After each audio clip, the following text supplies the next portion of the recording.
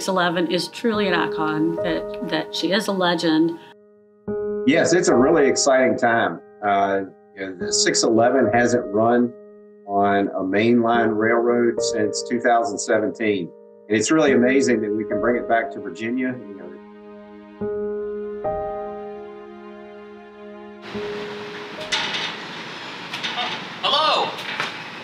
digital content producer Jacob Fife, and today I'm here at the Virginia Museum of Transportation to learn about the historic Norfolk and Western 611.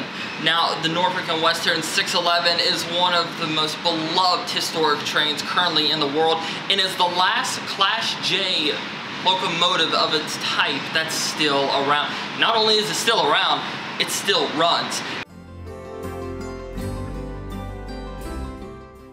So I spoke with Mindy Flynn. She is the executive director of the Virginia Museum of Transportation, and she told me a little bit about the history of the 611.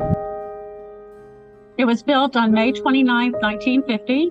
It was designed, constructed, and maintained by the Norfolk and Western Railway at the East End shops here in Roanoke, Virginia. The Roanoke shops were vital because that's where 611 was built built and maintained. Um, so without those, we wouldn't have the 611, at least being a native here of Roanoke. It burns coal and weighs 494,000 pounds. It's the most modern steam passenger locomotive ever built, and it's hailed as the finest steam passenger locomotive in the world. Um, it's, it's known for its speed and power, uh, recognizable by its colors the midnight black, Tuscan red, and gold. Uh, it's bullet nose. Uh, it's 484 wheel configuration. Um, and then it can travel up to 110 miles per hour, pulling 15 cars. It's it is quite a special engine. It was in service from 1950 to 1959.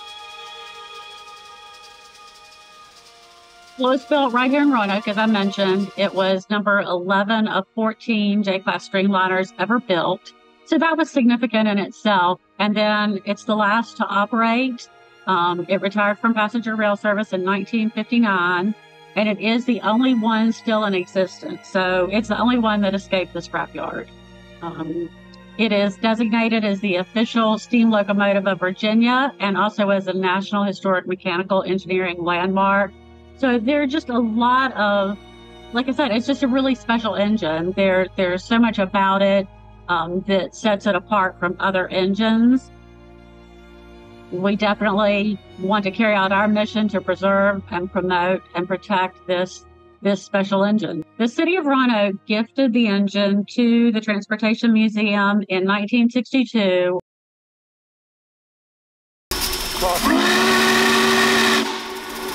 Mm-hmm.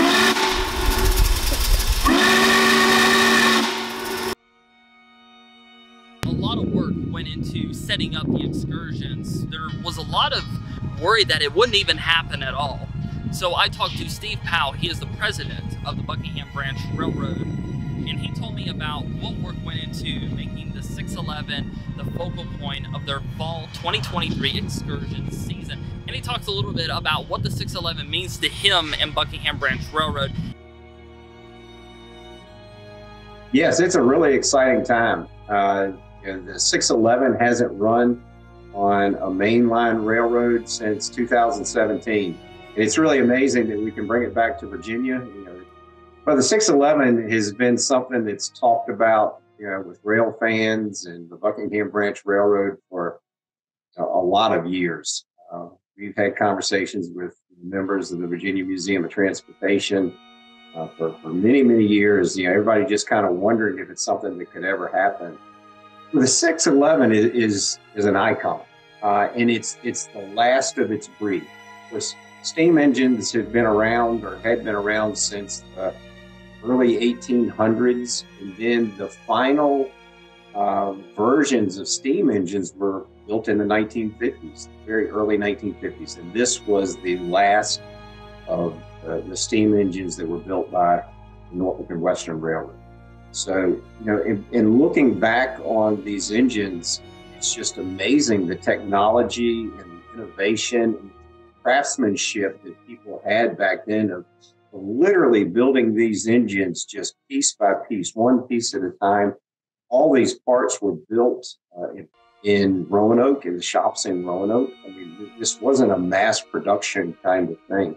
And so just looking at, and appreciating the engineering behind uh, these, these mechanical marvels is, very important. But then also looking at them, looking at the past where we come from, it gives us the opportunity to look where we are, where we're going. We're starting out of Goshen because uh, it's a place where we have uh, built a new uh, station to where we can launch these excursions. And it gives the people the ability to be able to come up and be close to the locomotive, uh, you know, get pictures right up next to it, can spend some time around it, and really appreciate it what it's worth. Um, then when you get on the engine, or excuse me, get on the train, um, we'll be pulling out of Goshen. Uh, we'll make our way up to our main line, and then once we're on our main line, uh, the 611 is going to give given the opportunity to to show a little bit of what she has.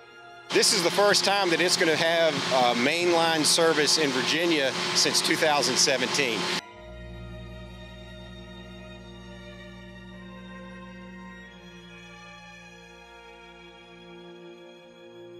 The 611 is an important piece of American history, and the fact that it's the last Class J left is amazing. The fact that it runs is even better. And it's, it's amazing to see that there are people who are dedicating their time, their money, their resources to see this thing not only stay around for another hundred years or so, but they also make it run so that other people and newer generations can appreciate the 611 like they did. You know, it's not every day you get to have one of the most iconic steam engines ever built as your background. This is just an absolutely amazing experience to be here watching the 611. Well, we've been very fortunate to be able to get 611 restored back in 2015. And since then, we've kept it hot and kept it running throughout Virginia and other states too. We had to run for a little while in Strasburg, Pennsylvania. We are very fortunate to have opportunity to run up there. Uh, we ran in Spencer, North Carolina for a short period of time too. And uh, we finally were able to get it back here to Virginia, which has been our goal all along. This site was originally an iron ore mine site and I had a furnace here called Victoria Furnace. So that's how we came up with the name Victoria Station. That was back in the 1880s when that was taking place. And it ran until the 1920s. But um, the, the, the significance here is, you know, we were able to find a site here in Virginia in Goshen that, that allows us to not be on the main line, but be on a secondary line, a branch line, and we were able to put the station at this site. So I've been enamored with this engine for 50 years at least. And I was fortunate enough to, to be asked to be on the board uh, before we got it operating again. So I was uh, working with the inception of that. And it's, it's been a wonderful opportunity. It's one of the high points in my life to, to be able to uh, be involved with the 611 and put this operation together. I'm very proud to be able to be part of it. Um, it's an honor to be part of it and to work with the people that I get to work with. The community around 611 is varied. Um, it's all ages, all backgrounds. Um, you've got people who their grandfather was an engineer or helped build it or just worked for the railroad even. Um, you've got people who are, who are general rail fans who, who follow it for different reasons. Um, you know, children, older people, you there's really no specific group. It's everybody. Everybody. I, I don't know of anybody who doesn't like 611. You know, I'm not as knowledgeable about trains enough to be able to talk in detail about these, but just look at them. They're huge. They're polished. There's so much power behind them. And it just takes you back in time to imagine when this train was being built right here in Roanoke, the hard work that went into putting each of these bolts, designing it carefully so that nothing would go wrong and people would be safe during their journey. And the fact that they are still here, still working, still usable, still being cared for. Absolutely amazing. Another person I talked to is Joel Gillespie. he is a train enthusiast who picked up photography and an interest in trains after seeing a 611 for the very first time.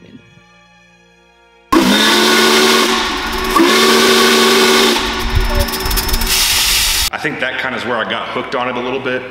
And then I've always enjoyed them, you know, as I've gotten older, but I think my interest level peaked again probably the height of COVID. Um, I started doing photography as a hobby, and then when COVID came around, I started doing train photography. And so we were traveling down through Roanoke, Virginia, where it was was obviously built, and we were stopping in there for, for lunch one day, and, and my dad took us over across the street to the to the museum, and, and this was probably when I was seven or eight years old, and we took a look at the train, and, and I think that's where I really got hooked with seeing a, a, a massive engine like that and multiple others next to it in person. And since then, I've seen it three or four other times sitting there and then once on the tracks. You know, just picking up train photography as a hobby just a few years ago, you know, not knowing a lot about trains in general, about, you know, what types of trains there are, you know, to, to realize something like that is so prominent, not only in, you know, Virginia's railway history, but American history. Hopefully that they'll realize, you know, when they're photographing it or, you know, riding on the train that's getting pulled by, hopefully they will realize, you know, they're, they're part of, of history and and it's it's history that's doing great. It's not going anywhere anytime soon that we know of, and it's just it's something really special to be a part of. My hope would be that people would get from the experience that 611 is truly an icon, that that she is a legend. Um, one out of 14 J class engines still surviving and operating, and the only one. And just to know that she's something very special. You don't realize it maybe until you see it. Um, but it's it's just it's something that's really hard to put into words. Um, how special it is, and just watching the power, the smoothness of its running. Um, there's just nothing like it. it. It is definitely one of a kind.